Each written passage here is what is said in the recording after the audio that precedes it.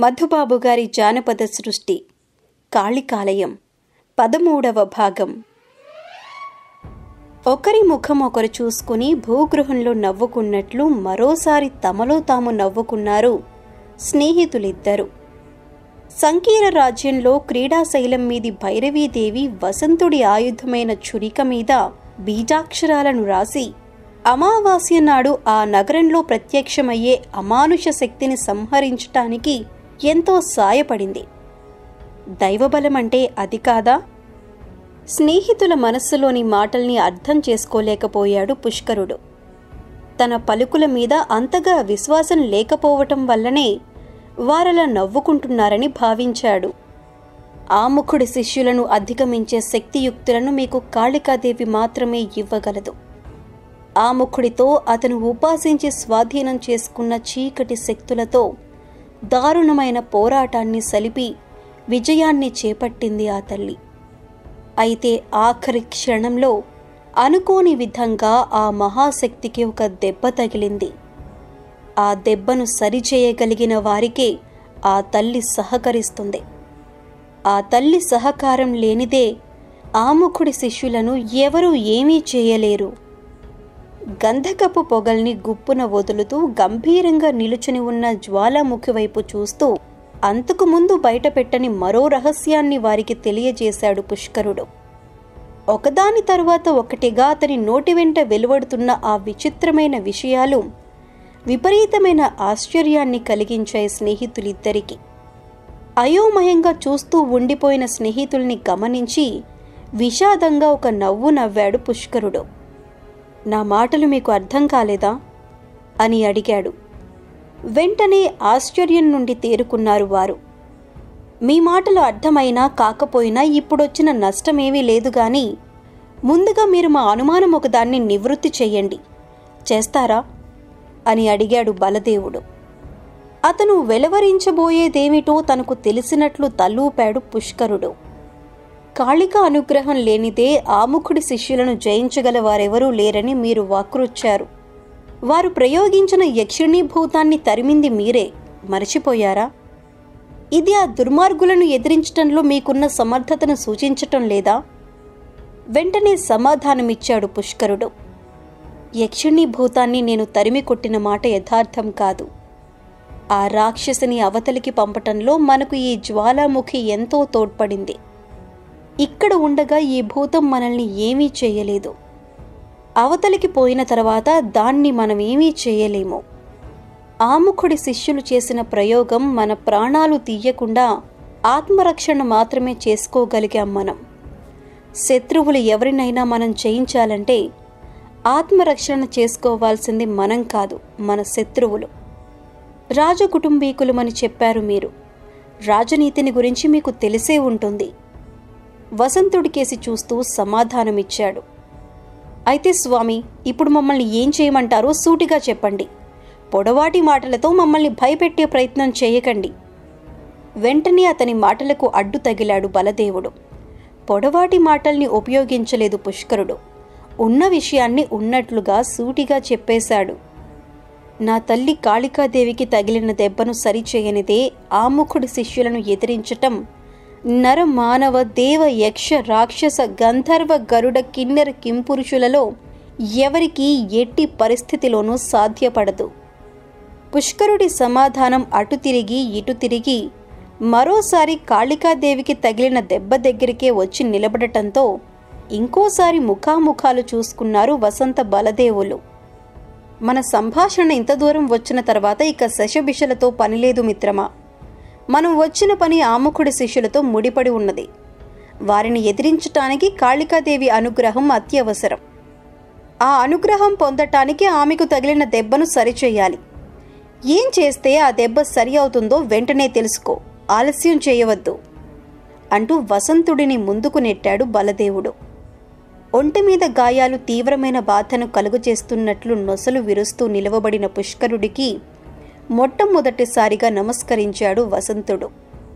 మా కోరిక ఏమిటో మీకు తెలుసు. దయచేసి మమ్మల్ని సరైన మార్గంలో నడిపించండి. సదుపదేశం చేసి మాకు సహకరించండి అని అర్థించాడు. కారణం ఏమిటో అతనికి గాని బలదేవుడికి గాని అర్థం కాలేదు. వరద నీరు మాదిరి ఉప్పొంగి వచ్చిన కన్నీటితో పుష్కరుడి వదనం తడిసిపోయింది. మేము మాట్లాడిన మాటల్లో మీకు బాధ కలిగించే అంశాలు ఏవైనా ఉంటే దయచేసి మమ్మల్ని క్షమించండి. అంటూ మరోసారి నమస్కరించబోయిన వసంతుడిని వెంటనే అడ్డుకున్నాడు పుష్కరుడు. బాధతో వచ్చిన కన్నీరు కాదు నాయనా ఇది. సంతోషాన్ని అణచుకోవటం అసాధ్యమైనందువల్ల వెలువడిన ఆనంద భాష్పాలు ఇంద్రజాల మహేంద్రజాల టక్కుటమార గజకర్ణ గోకర్ణ మంత్రతంత్ర విద్యల్లోనూ జపహోమాది కర్మకాండల్లోనూ అత్యంత నిష్ణాతుడని పేరు పొందిన సుమేరువు అనే మంత్రవాది మా పూర్వీకుల్లో ఒకరికి చెప్పిన మాట యథార్థమని ఇప్పుడు నిరూపితమైంది. అందుకే ఈ ఆనందం. తన జీర్ణ వస్త్రాలతో ముఖాన్ని తుడుచుకుంటూ అంటున్న అతని కేసి చూసి తల విదిలించాడు బలదేవుడు. చిన్న చిన్న మాటల్లో చెబితే మనం అర్థం చేసుకోవటం లేదని గ్రహించి పొడవాటి పదాలతో ప్రాణాలు తీయాలని నిర్ణయించుకున్నాడితను. సందేహం లేదు. నువ్వు భయపడకు నీకు అండగా నేనున్నాను. అంటూ రహస్యంగా అనబోతున్న అతని వంక కోపంగా చూసి నోరు మూయించాడు వసంతుడు. ఆముఖుడి చీకటి శక్తులతో జరిగిన పోరాటంలో కాళికాదేవికి తగిలిన దెబ్బను సరిచేయటానికి కారణజన్ములు ఇరువురు జన్మిస్తారని తమంతట తామే వచ్చి అందుకు మార్గాన్ని తెలియజేయమని అర్థిస్తారని ఆముఖుడి శిష్యులు ఎటువంటి శక్తులు కలిగి ఉన్నారో ప్రత్యక్షంగా చూసిన తరువాత కూడా వెనుకంజ వేయని ధీర వీర స్వభావులు వారని సుమేరువు మా వంశీయులకు తెలియజేశాడు. అంటూ తన మానాన తాను మాటల్ని కొనసాగించాడు పుష్కరుడు. అటువంటి వారు ఎవరున్నారో తెలుసుకునేటందుకు నా వంశీయులు చేసిన ప్రయత్నాలన్నీ వృధా అయిపోయాయి. వారు ఎంపిక చేసి పంపిన వీరాధి వీరులెందరో ఆ దుర్మార్గులకు ఎదురు నిలబడలేక మరణించి మట్టిలో కలిసిపోయారు. నా అదృష్టం కొద్దీ మీరు నాకు తారసపడ్డారు. పుష్కరుడి మాటల్ని ఆలకిస్తున్న బలదేవుడికి వెంటనే ముంచుకు వచ్చింది విపరీతమైన కోపం. ఆముఖుడి శిష్యులను ఎదిరించే మార్గాన్ని చూపించవలసిందిగా అర్థించినప్పుడు మమ్మల్ని నిరాశపరిచారు. అంటే మా పట్టుదలను పరీక్షించటానికి అలా నటించారా? కోరగా చూస్తూ అడిగాడు. ఆ మాటలకు పుష్కరుడు నొచ్చుకుంటాడేమోనని అనుమానించాడు వసంతుడు. అతను అనుకున్నట్టుగా నొచ్చుకోలేదతను. ఆ మాటల్ని పట్టించుకోలేదు. మిమ్మల్ని వెంటనే దెబ్బతిన్న నా తల్లి ఆలయానికి తీసుకుపోతాను. ఆ దెబ్బ ఎటువంటిదో ఆ దెబ్బను సరిచేయటం ఎలాగో వివరంగా చెబుతాను. అంటూ ఉన్నట్లుండి ముందుకు తూలాడు. చటుక్కున చేతిని జాచి అతన్ని పట్టుకున్నాడు వసంతుడు.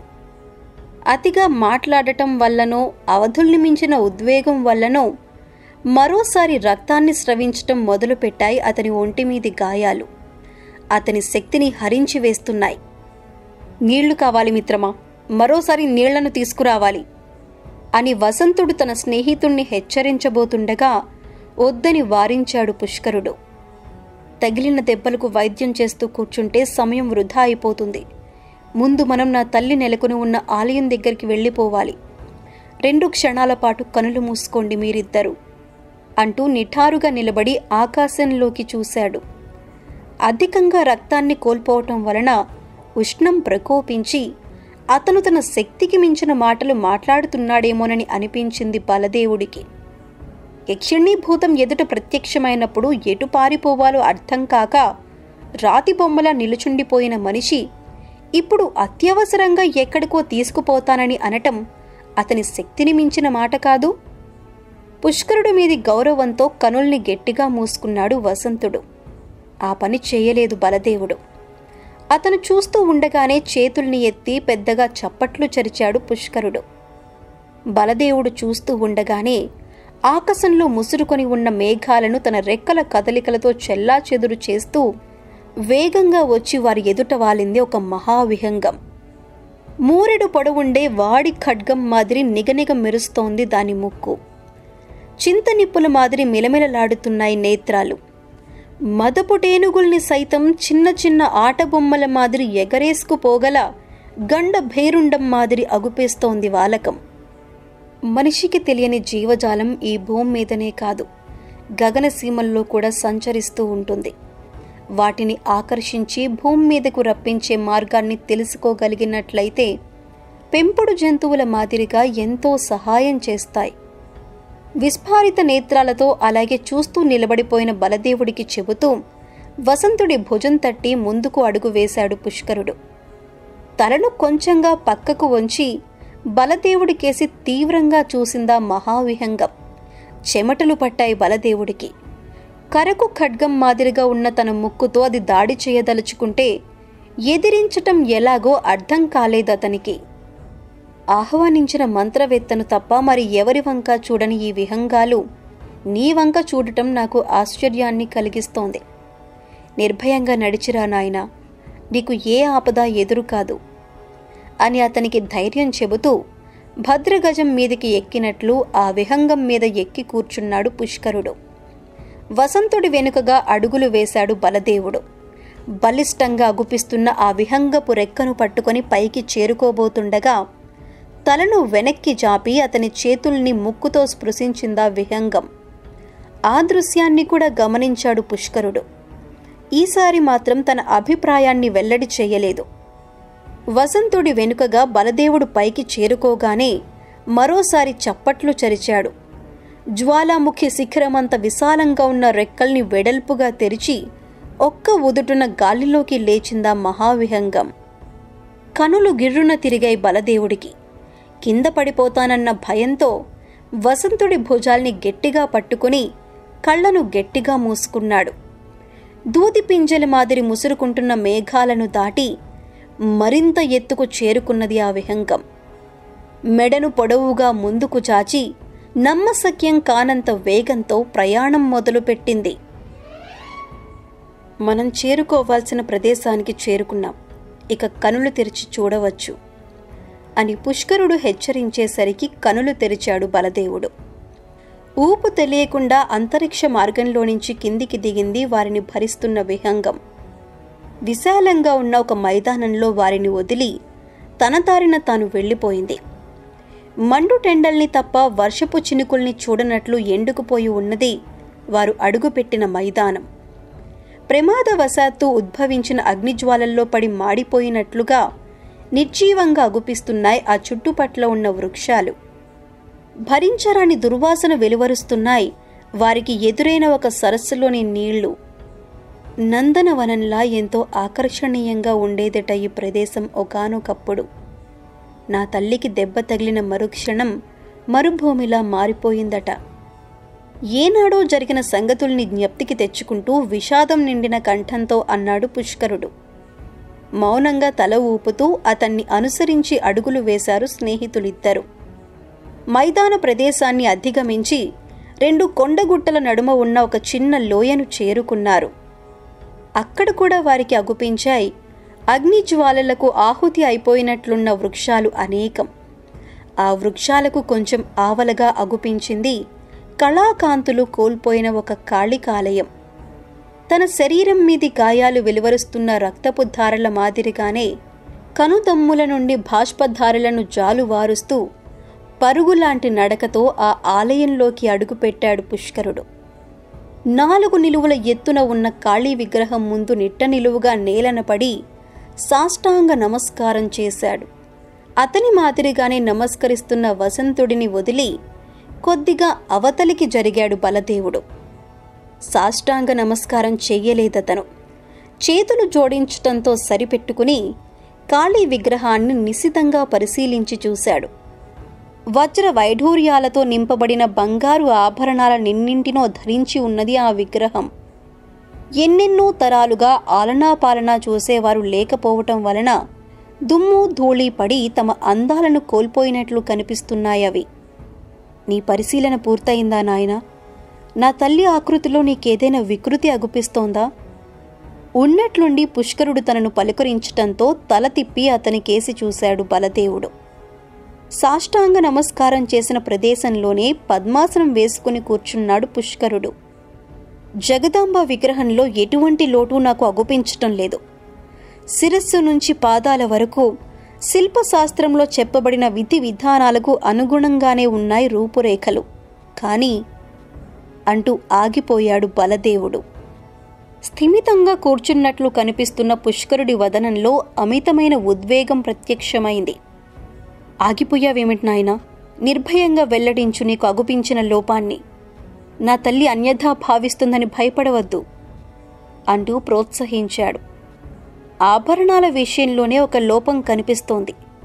శిల్పశాస్త్రం చెప్పిన ఒక కంఠహారం కనిపించటం లేదు. అంటున్న బలదేవుణ్ణి అమాంతంగా పైకి లేపి గాఢంగా కౌగలించుకున్నాడు. సునిశితమైన నీ పరిశీలన శక్తిని అభినందించకుండా ఉండలేకపోతున్నాను. ఒకసారి నా తల్లి వెనుక భాగంలోకి తొంగిచూడు అంటూ ఆదేశించాడు. అతనెందుకలా చెబుతున్నాడో అర్థం చేసుకోవటానికి ప్రయత్నిస్తూ విగ్రహానికి నమస్కరించి వెనుక భాగంలోకి తొంగి చూశాడు బలదేవుడు. వెంటనే అతనికి అగుపించింది విగ్రహం వెనుక భాగంలో నేల మీద పడి ఉన్న కంఠహారం. శిల్పశాస్త్రం చెబుతున్న విధంగా విగ్రహం మెడలో వ్రేలాడుతూ ఉండవలసిన ఆభరణమే అది. అయితే అందులో పొదిగి ఉండవలసిన విలువైన శిలలు మాత్రం అక్కడ అగుపించటం లేదు. పుష్కరుడి అనుమతి కోసం ఆగలేదు బలదేవుడు. అతి వేగంగా ముందుకు వంగి ఆ హారాన్ని చేతిలోకి తీసుకున్నాడు. తీసుకున్న తరువాత అర్థమైంది అతనికి. అమూల్యమైన పచ్చల పథకమది అక్షరాల తొమ్మిది పచ్చలు అందులో పొదగబడి ఉంటాయి.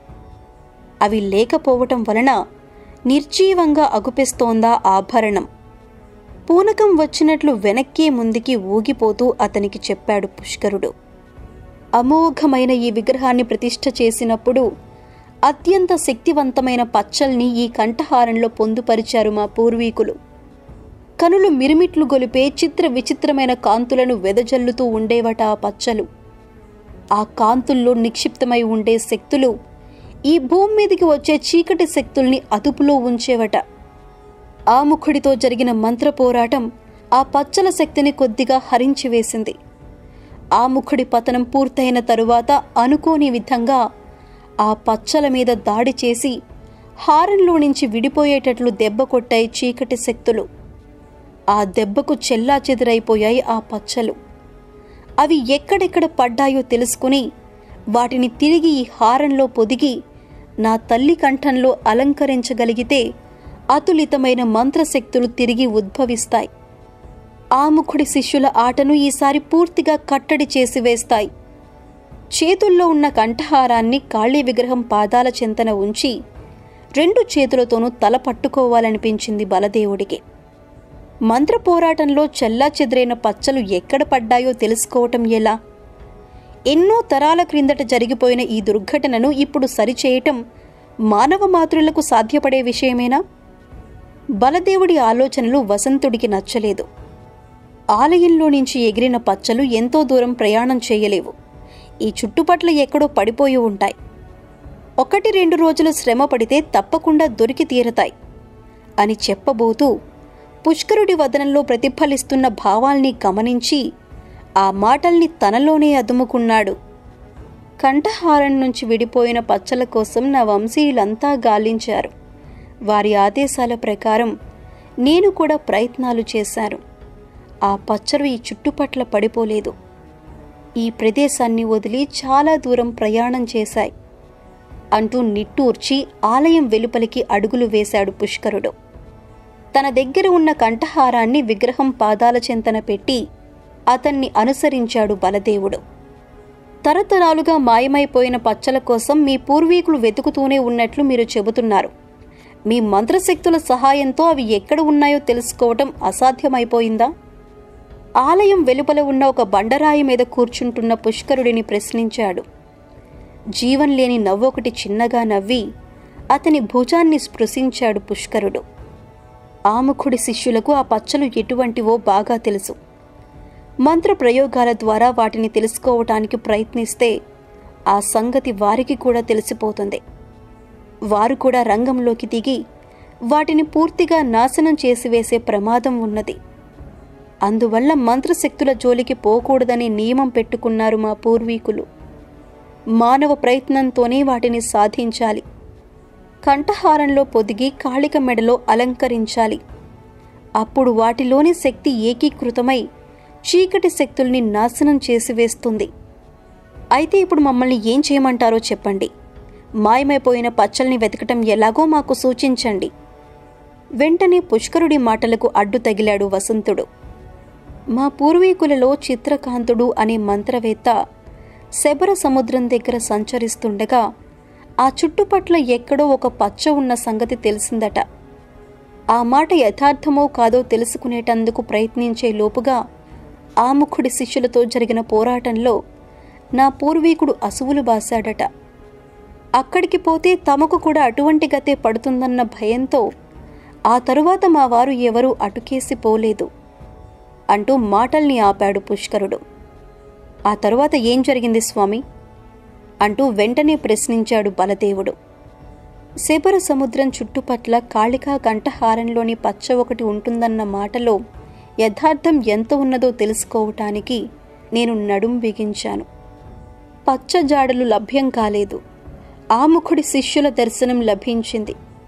వారికి పట్టుబడి పాతాళ గృహంలో నిర్బంధించబడ్డాను అన్నాడు పుష్కరుడు.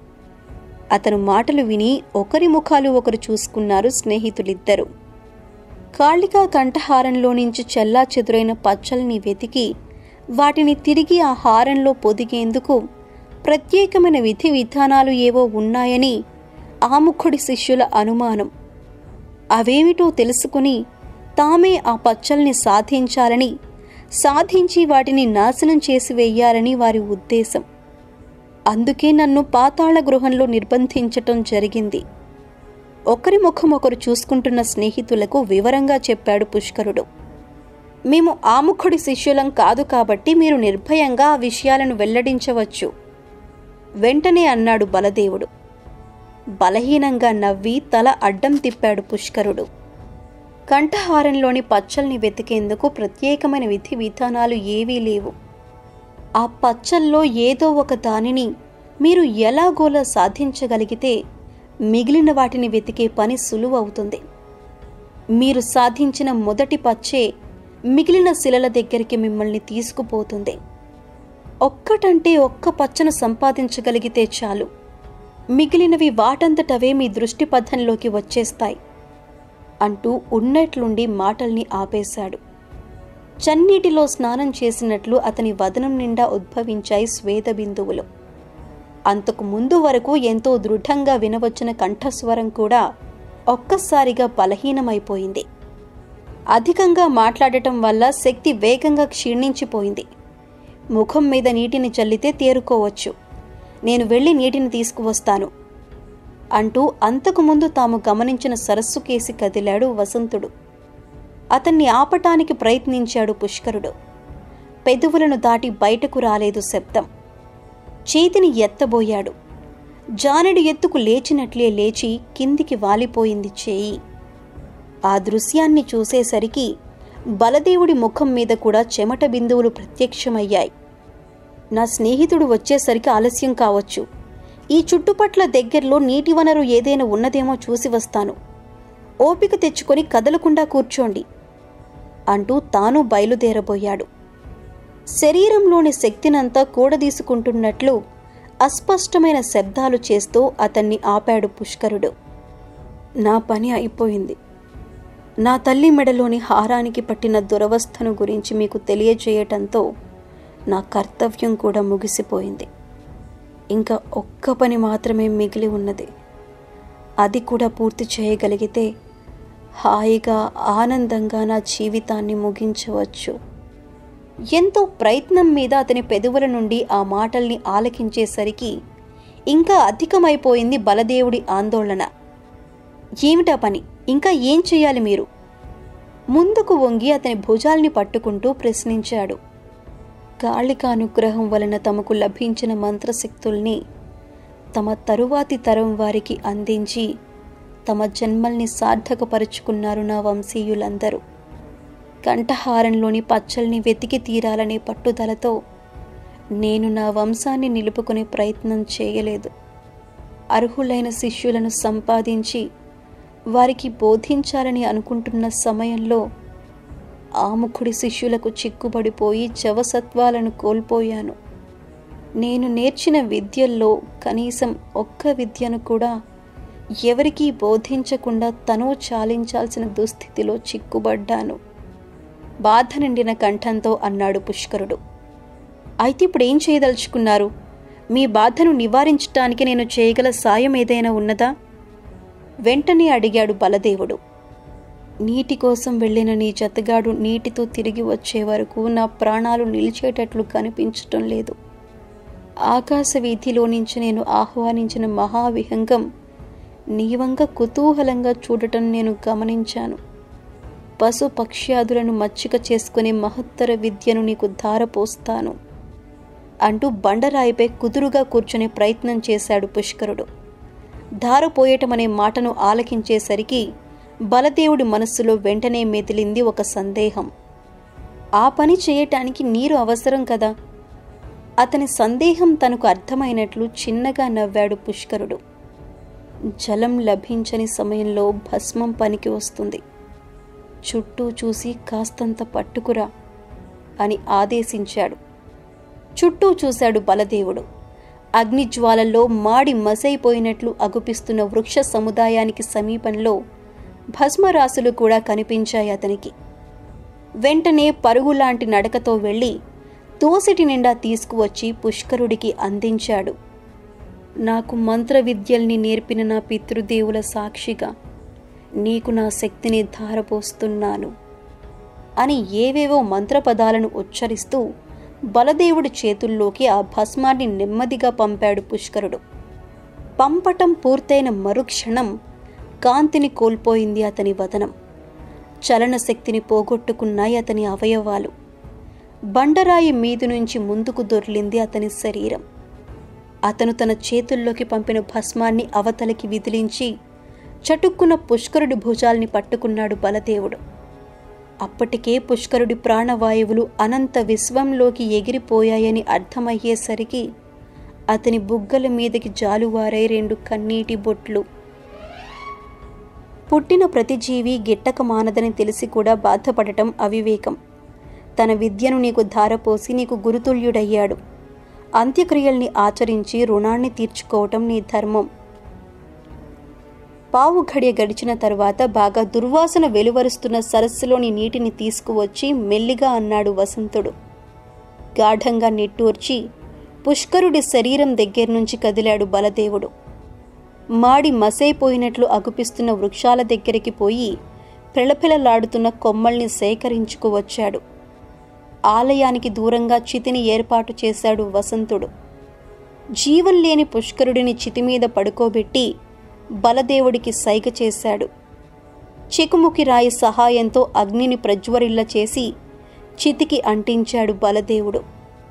సరస్సు దగ్గరికి పోయి దుర్వాసన వెలువరుస్తున్న నీటితోనే తనకు గురుతుల్యుడు అయిన పుష్కరుడికి తర్పణం వదిలాడు. అప్పటికీ సాయం సమయం అయిపోయినట్లుగా పడమటి దిశలోకి వాలిపోయాడు సూర్యభగవానుడు. ఇంకొక క్షణం కూడా ఈ ప్రదేశంలో నిలబడటం నాకు ఇష్టం లేదు. ముందుకు వెళ్ళిపోదాం మనం. అంటూ అటు నుంచి అటే పశ్చిమ దిశ వైపు ప్రయాణం మొదలుపెట్టాడు వసంతుడు. మౌనంగా అతన్ని అనుసరించాడు బలదేవుడు. చీకట్లు దట్టమయ్యేటంత వరకు నడిచిన తరువాత సమతలంగా ఉన్న ఒక కొండరాయిని తన స్నేహితుడికి చూపించాడతను. అతని ఉద్దేశం అర్థమై ఆ రోజుకు ప్రయాణాన్ని నిలిపివేశాడు వసంతుడు. తీవ్రమైన ఆకలి దప్పులు తమను ఎంతగా బాధించినా లక్ష్య పెట్టకుండా ఆ కొండరాయిపై మేనులు వాల్చారిద్దరు. తూర్పు దిక్కు తెల్లబడటానికి మరో అర్ధఘడియ వ్యవధి ఉన్నదనగా మరోసారి తమ ప్రయాణాన్ని ప్రారంభించారు వారిద్దరు.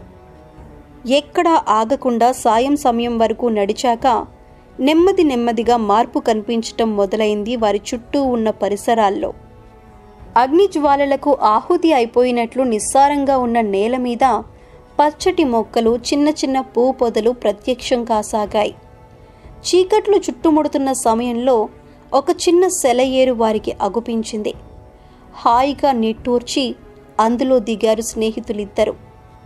ఆకలి బాధను అణుచుకునే మార్గం కనిపించకున్నా స్వచ్ఛంగా ఉన్న ఆ నీటితో తృప్తి చెంది ఆ సెలయేటి ఒడ్డునే విశ్రాంతి తీసుకోవాలని నిశ్చయించుకున్నారు. పుష్కరుడు ఉపదేశించిన మంత్రాల సాయంతో మహావిహంగం వంటి వాహనాన్ని ఆవాహన చేస్తే ఎలా ఉంటుంది? ఒక చిన్న బండరాయి మీద తలను ఆనించి పడుకుంటూ స్నేహితుడిని అడిగాడు బలదేవుడు. కంఠహారంలోని పచ్చలను వెతికే పని మీద ఇప్పుడు మనం బయలుదేరాం. ఈ పని మీద ఉండగా మంత్ర ప్రయోగాలు చేస్తే ఆముఖుడి శిష్యులకు మన గురించి తెలిసిపోతుంది. అవునా? వెంటనే అన్నాడు వసంతుడు. జ్వాలముఖి దగ్గర నుంచి కాళికాలయం దగ్గరికి చేరుకోవటానికి పుష్కరుడు మహావిహంగాన్ని ఆవాహన చేసిన విషయాన్ని అతను మరిచిపోలేదు. ఆముఖుడి శిష్యులను గురించి పూర్తిగా తెలిసి ఉన్నవాడు కాబట్టి అతను ఏమి చేసినా చెల్లుబాటయింది. ఆ శక్తి మనకు లేదు. అనవసరమైనటువంటి ప్రయోగాలు చేసి లేనిపోని బాధల్ని నెత్తిమీదికి తెచ్చుకోవటం అనవసరం అంటూ తన మాటలకు అర్థాన్ని కూడా వివరించాడు. ఏదో ఒకటి మాట్లాడాలన్న కోరికతో మంత్రాల ప్రసక్తిని ఆ సమయంలో తెచ్చాడే గాని పుష్కరుడు తనకు ధారపోసిన మంత్ర విద్యలను ఉపయోగించుకోవాలన్న కోరిక బలదేవుడికి లేదు.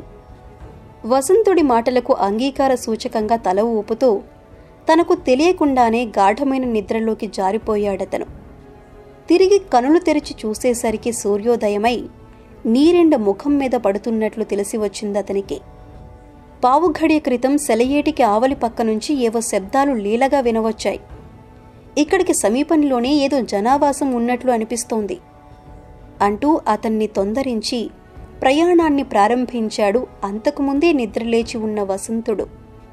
రెండు ఘడియల తర్వాత యథార్థమైంది అతని ఊహ. ఎత్తుగా ఉన్న ఒక పర్వతం ఆవలి పక్కన వారికి అగుపించింది ఒక కుగ్రామం. బాటసారులం మేము. వజ్రపురి రాజ్యానికి వెళ్ళబోదు దారి తప్పిపోయాం. ఆకలి తప్పులు మమ్మల్ని అమితంగా బాధిస్తున్నాయి. గ్రామం లోపలికి అడుగు పెడుతూనే తమకు అగుపించిన మొట్టమొదటి గ్రామస్థుడితో మొరపెట్టుకున్నాడు బలదేవుడు. అనుమానం నిండిన చూపులతో కింది నుంచి పైదాకా పట్టి పట్టి చూసి నిర్మోహమాటంగా తలని అడ్డంగా తిప్పాడు ఆ గ్రామస్థుడు. మా గ్రామంలో ఉన్న ఆడ మగ చిన్న పెద్ద అందరము కలిసికట్టుగా రెక్కలు ముక్కలు చేసుకున్నా పూట గడవడం కష్టంగా ఉన్నది. బయట నుంచి వచ్చిన వారికి తిండి పెట్టి ఆదరించే స్తోమత మాకు లేదు. మీరు మరెక్కడికైనా పొండి ఇక్కడ మీకు ఆహారం లభించదు అంటూ తాను అవతలికి వెళ్ళిపోయాడు. నోరు తెరిచి మరో మాట మాట్లాడితే అతను మిగిలిన వారందరినీ పిలిచి అందరి చేత అవే మాటలు మాట్లాడిస్తాడన్న అనుమానంతో మౌనంగా ఉండిపోయాడు బలదేవుడు. తమను తిరస్కరించిన గ్రామస్థుడి మనస్సు మారుతుందేమోనని ఓపిగ్గా మరో ఇరువది క్షణికాలు ఎదురుచూసి గాఢంగా నిట్టూర్చాడు వసంతుడు. ఇక్కడ నిలబడటం అనవసరం మరో దారి చూసుకోవటం శ్రేయస్కరం అని అంటూ వెనుతిరగబోయాడు. అదే సమయంలో అతని చెవులకు చేరాయి కొన్ని హాహాకారాలు.